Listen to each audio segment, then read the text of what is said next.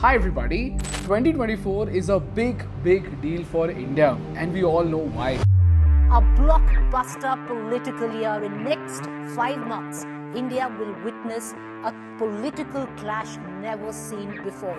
As the general election month is coming closer and closer, political parties are pouring in a ton of money into marketing, narrative building, blame games and even allegation. प्रधानमंत्री नरेंद्र मोदी सारे के सारे शब्द जो उनके मुंह से निकल रहे हैं वो झूठ है पंद्रह लाख रुपए हर बैंक अकाउंट में सच या झूठ किसान बिल से किसानों का फायदा होगा सच या झूठ कांग्रेस जहां भी सत्ता में है वहां उसका एक ही एजेंडा है लूट लूट लूट But amidst all this chaos, the ultimate question over here is how do we as voters really measure the performance of a political party? In this case of 2024, how do you analyze the performance of the BJP? Because BJP or in general any ruling party has a very bipolar opinion. While the opposition says that BJP has failed India, on the other side, BJP claims to be taking India on this path to becoming an economic superpower. So the question is, has the promise of Achhe Din actually fulfilled? Well, to find the answer to these questions, we went through countless reports and stats and analyzed the entire manifesto of BJP to look at every single promise they made in writing so that we can give you an unbiased picture about how did BJP perform as compared to the UPA era. So in this episode today, I'm going to take you deep into this research and help you find the answers to four important questions. Number 1, what exactly did the BJP promise in their 2019 manifesto with the hope of Achhe Din for Indians? Number 2, how many of their promises have actually been fulfilled? Number 3, what are the promises that they have not delivered on?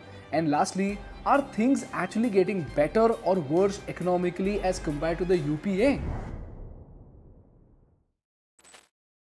This video is brought to you by Odoo, which is an enterprise resource planning software that covers all your company needs, including CRM, website, e-commerce, accounting, inventory, and point of sale. Last time we showed you the website builder, but this time let's dive into the magic of Odoo's e-commerce builder. Odoo's e-commerce builder is a dynamic and user-friendly platform that empowers businesses to effortlessly create stunning online stores. With a simplified four-step process, users can leverage drag and drop building blocks, customize themes tailored to their industry, and ensure a seamless mobile-friendly experience without intricate backend configurations. Customizing the product page is made very simple with options to set prices with GST. The best part is Odoo's first app is free forever, so you don't have to pay for your e-commerce website. You also get unlimited free hosting and support and a free custom domain for a year. So if this sounds amazing, click the link below and explore Odoo's e-commerce builder from the link in the description. And now on with the episode. Let's start with the first question. What exactly did the BJP promise in 2019 and how much of it is actually fulfilled? The best reference to understand this research is this 45 page manifesto which has all the promises that BJP made. So, to simplify things, we have put them into five categories which are security, agriculture, economy, infrastructure, and social indicators. And you can find their progress in health, inclusive development, culture, and governance not in the video but in the document attached below. And within these categories, I will cover the most important promises and I'll give you an exclusive document in the description which has all the data about the performance of BJP for every single milestone. So you can by yourself read and eliminate all kinds of bias to make an informed decision about BJP's performance. So let's get started. Let's start with the security first. This was perhaps one of the most important promises of the BJP. To tell you about it, BJP promised a strong focus on national security and internal law enforcement in its manifesto. The promise was so huge that they committed to a zero tolerance policy against terrorism and extremism. वे कहते हैं आओ मिलकर के मोदी को खत्म करें और मोदी कहता है आओ हम सब एक होकर आतंकवाद को खत्म करें And one of the most crucial aspects of their promise was to improve the security of JNK and the removal of Article 370. And like we saw, they did abrogate the Article 370. Apart from that, if you look at the overall India data, it shows that between 2004 and 2013, there were 9,321 terror strikes, which has decreased to just 2,132 terror incidents from 2014 till August 2022. This means there was a 77% decrease in terror attacks. And if you look at the incidents in Kashmir, they have come down by 32% from 959 to 654 with a 14% decrease in civilian deaths. So data shows that BJP has improved the security situation when it comes to combating terrorism and external threats. This is a fact that is very well marketed by BJP and Modi ji.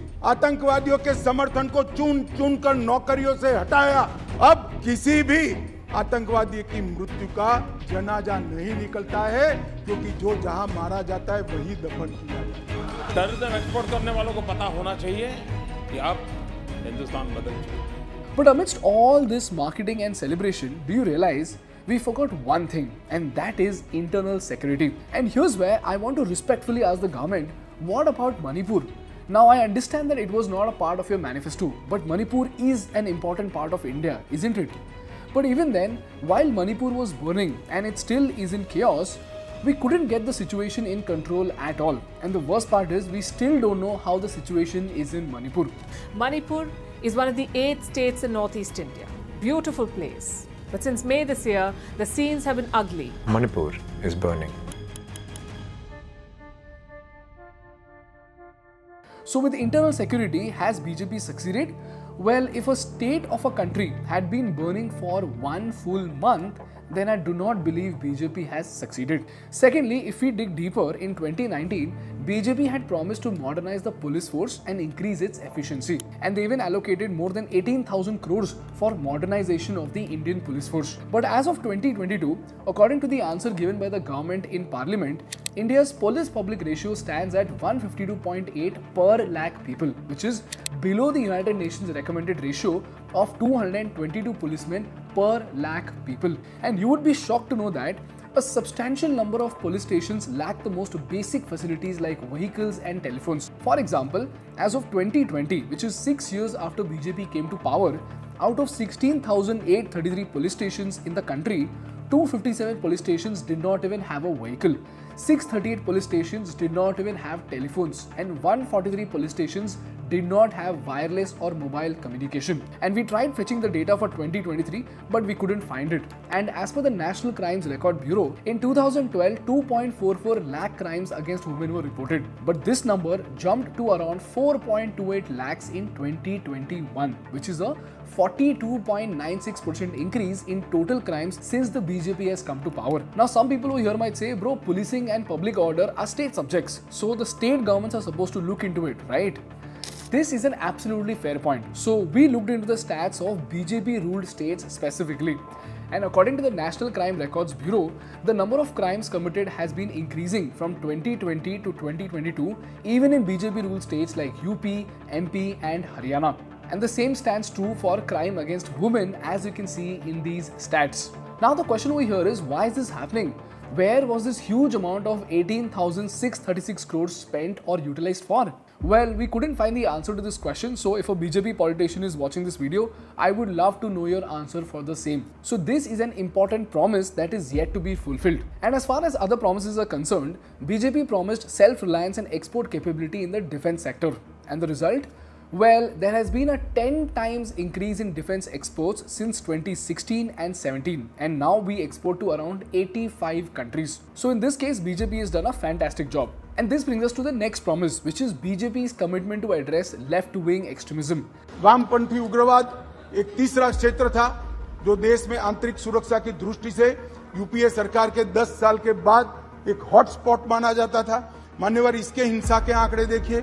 2005 से 14 के और 14 से 22 के हिंसा total 14000 घटनाएँ हुई थी। अब 6900 हुई बावन प्रतिशत की कमी मृत्यु 5790 थी। अब 1811 हुई 69 परसेंट की कमी। Unfortunately, we couldn't find any data to track the progress of the party in this aspect. Thirdly, BJP promised to curb infiltration and illegal immigrants, and for this, BJP planned to roll out the National Registry of Citizens or NRC. And we all know what happened after that. Protests in more than a dozen cities, troops deployed, violent police confrontations, curfews, and internet shutdowns. India has seen days of unrest after Prime Minister Narendra Modi's government passed a new citizenship law. Citizenship amendment act में भी किसी की भी नागरिकता लेने का कोई provision ही नहीं है। कोई मुझे समझा दे क्या है? ये नागरिकता देने का प्रोविज़न है। तो इस देश के जितने भी वासी माइनॉरिटी वाले हैं मुसलमान हैं उनको कोई किसी को डरने की ज़रूरत नहीं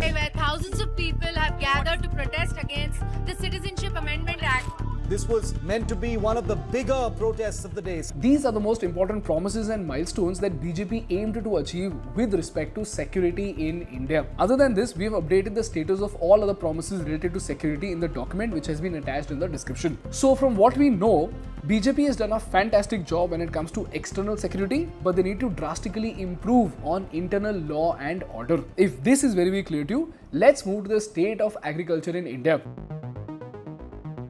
For agriculture, BJP and our Prime Minister himself aimed to double the farmer income by 2022. This has been BJP's promise since 2016. And this was a very important promise because more than one fifth of rural households who have agriculture as their main income were below the poverty line. So the question is Has the farmer income really doubled? Now, when it comes to this debate, most people will give you stats saying that farmer income has doubled from 9,000 rupees to 18,000 rupees. But the real stat that you need to look at is the real farmer income, which is the income of the farmer adjusted for inflation. So, if your income increases by 100% in 10 years and inflation also spikes by 100% during the same 10 year span, your income has practically not increased at all, right? So this is how real income gives you the real picture and not the nominal income of the farmers. So if you look at the stat from 2005 to 2012, the real farmer income increased by 7.5%, but from 2012 to 2016, it increased by only 0.44%. And then from 2016 to 2021, it decreased by 1.5%. Now, a lot of people might actually say, bro, listen, there were droughts, there was Russia-Ukraine war, and there was COVID. And these arguments are absolutely valid. However, what I don't think is a good idea is to make the promise of doubling the income in the first place because there hasn't been a single decade in the history of India where we did not face an adverse catastrophe because sometimes there is flood, sometimes there is war, and sometimes there is a pandemic. So, making promises that are logical and practical is also very, very important. Moving on, BJP also proposed the development of a warehouse network across the country. This is because India is the third largest producer of food grains, but we do not have enough storage facilities to store these food grains. So, has the situation improved in this case? Well, according to the sources mentioned as of 2021, the country's food grain production is 311 million metric tons and storage capacity is only 145 million metric tons. So there is a shortage of 166 million metric tons in storage. So India just has the capacity to store 53% of a year's grain output. Whereas if you look at other countries, they have a storage surplus of 130% of their output. This is the reason why a large amount of food grains in India, they are stored in open sheds or on the ground and this leads to post-harvest losses of up to 30%. So not only has the farmer income doubled, there also isn't enough infrastructure to store these food grains and this is again a very very basic necessity. Thirdly, BJP had promised to digitize land records and the good news over here is that 94% of this work is already done and it is estimated to be completed by 31st of March this year. Then BJP aimed to complete all irrigation projects under the Pradhan Mantri Krishi Sinchai Yojana. And out of all these projects, 47.46% is complete. And lastly, BJP promised to launch a pension scheme for small and marginal farmers to ensure social security for these farmers after the age of 60. And to implement this, they have done it with Pradhan Mantri Kisan Mandhan Yojana, in which already 1.9 million people have registered.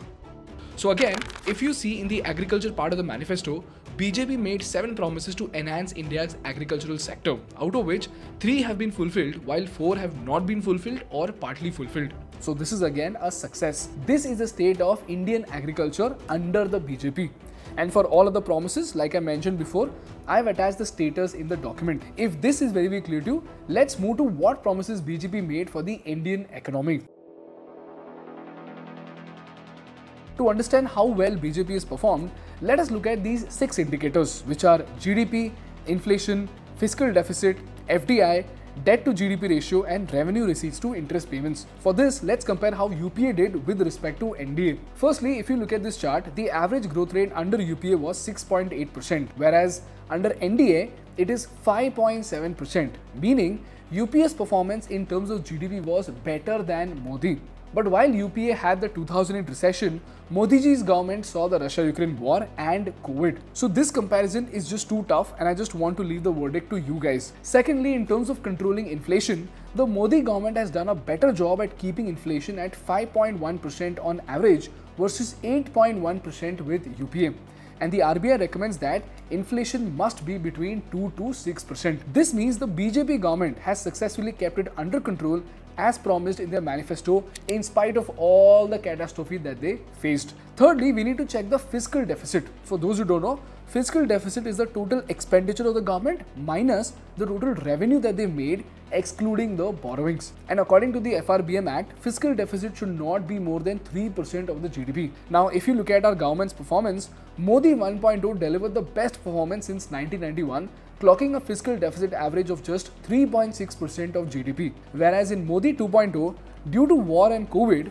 they delivered the worst fiscal deficit performance of 6.5% of GDP. And if we compare it to the previous governments, the Atal Bihari government averaged a fiscal deficit of 5.3% and the first Manmohan Singh government, despite the 2008 crisis, recorded a fiscal deficit average of just 4%. Whereas Manmohan Singh 2.0 delivered an average fiscal deficit of 5.2%. Fourthly, with regards to FDI, according to the finance minister, FDI into the country during the Modi government was $500 billion, which is 65% more than the amount received in the 10 years of the UPA government. The fifth indicator is the debt to GDP ratio. This ratio indicates how capable a country is in paying back its debts. So, the lower this debt to GDP ratio, the better and more healthier is the economy. Now, according to this UN paper, the debt to GDP ratio must not be more than 40% for developing countries like India. But if you look at where does India stand, as you can see in this chart, after the pandemic, India's public debt to GDP ratio shot up from 75% in FY20 to 88.5% in FY21 and then it gradually reduced to 81% in FY23. So here the BJP needs to be super super careful. And lastly, we have the interest payments to the total revenue that the government generated. And as of 2021-2022, the center spent 21.6% of its total expenditure of the year and 39.1% of the revenue receipts in just interest. As in 39% of the entire country's income went into just interest payments for the debt that we have taken. Whereas if you look at the RBI recommendation for states, this number is supposed to be less than 10%. So I'm assuming that for center also, the number would be close to 10%. So in short, we are losing a lot of money to just interest, which is bad. If this is very, very clear to you, let's look at the most critical promise of the Modi government, which is the Make in India initiative. India's breakout moment in manufacturing. Electrical से लेकर के electronic तक कम make in India. 105 billion dollar electronics production देश में इस साल हुआ है। You see the main objective of make in India scheme was to increase the manufacturing as a percentage of GDP to 25 percent by twenty and create hundred million job but if you look at this chart it's no close to twenty five percent of the G D it has decrease from fifteen percent to just about thirteen percent And it is shocking to know that while 51 million Indians were employed in the fiscal year 2016-17, employment in the manufacturing sector declined by 46% and reached 27.3 million in 2020 and 2021, which is just before the pandemic. Whereas the employment in the agriculture sector shot up from 145.6 million in 2016-17 to 151.8 million in 2020 and 21. And even in the services sector, the employment rose over the five year horizon to 119.7 million to 127 million in 2020 to 2021. Now, even though the mobile PLI schemes have worked very well in increasing our exports, there is still a very long way to go. So, the question that we need to ask the government is how will we increase the number of jobs in the manufacturing sector? So from what we can see, Make in India hasn't been as successful as we thought, but other sectors have generated more employment. Now, I'm still starting to understand which is better, but if you have any opinions, please drop it in the comments. If this is very clear to you, now let us look at what promises did BJP make with respect to infrastructure sector and how many of these promises have actually been fulfilled.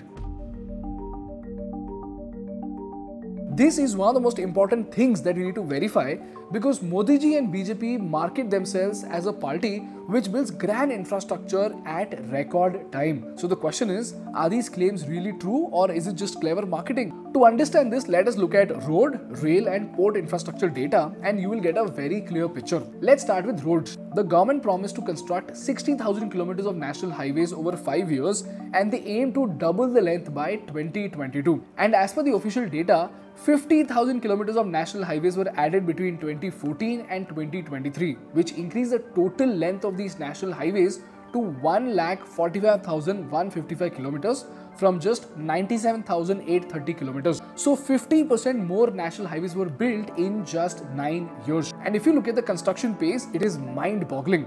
The construction pace in India grew from 12.1 kilometers per day in 2014-15 to an insane 28.6 kilometers per day in 2021-2022. So even though it has not doubled yet, there is a tremendous improvement in terms of the pace of construction and the sheer quantity of construction. 2024 समाप्त होने के पहले हिंदुस्तान का road infrastructure America के बराबर होगा ये वचन देता हूँ The government is dedicatedly working towards the development of a national highway network of 2 lakh kilometer length by 2025.